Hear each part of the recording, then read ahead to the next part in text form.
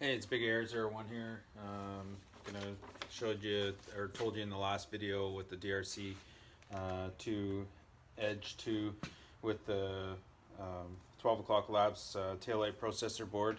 Um, I wanted to do a program, uh, show you how to program these uh, these, these lights. So right now, um, I've got it set on um, for the blinkers. I have it set on the that's the first one. That's what it, how it comes. That's the chase, and then it also has just a regular brake. But you can change that. So I'll show you how to do that. So to do that, you uh, shut the bike off, hold the brake on, and turn the ignition back on, and it's going to do its little upload like that. And then you got to press the uh, brake lever up to 15 times within eight seconds, and then it should go into um, program mode. So program mode is it's you know it's in program mode when it starts blinking like that. So you can change the different blinking. So that's the full chase view. This is the a blinker, uh, just a regular blinker. Um, make sure my blinkers are off. Um, that's the other, a little bit quicker blinker. And then this is uh, an even faster blinker. So I'm to choose to keep it with this one. I really like this one. This one looks pretty cool.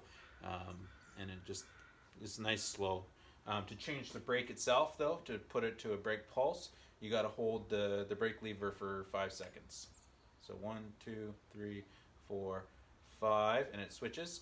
And then to save that, you shut it off, and it'll save all of your um, all of your your settings. So to turn it back on, let's just double check.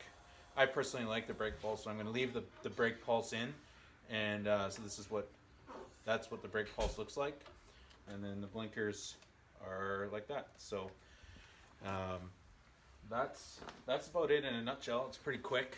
I know. Uh, you know, uh, this bike I did install the 12 o'clock labs, um, the fixed rate uh, blinker because I don't have LEDs in the front yet, but that's going to be coming in another video.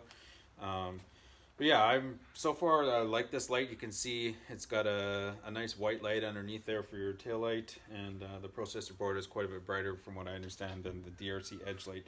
So um, if you like this channel, or this video, sorry, uh, please subscribe to my video, share it, check out all my other videos that I have done on my bike so far. I mean, most of it's surrounding um, lights and installing of all the lights and all the wiring that you need to do to, to do all of this. But uh, definitely would appreciate it if you'd subscribe or like it or share.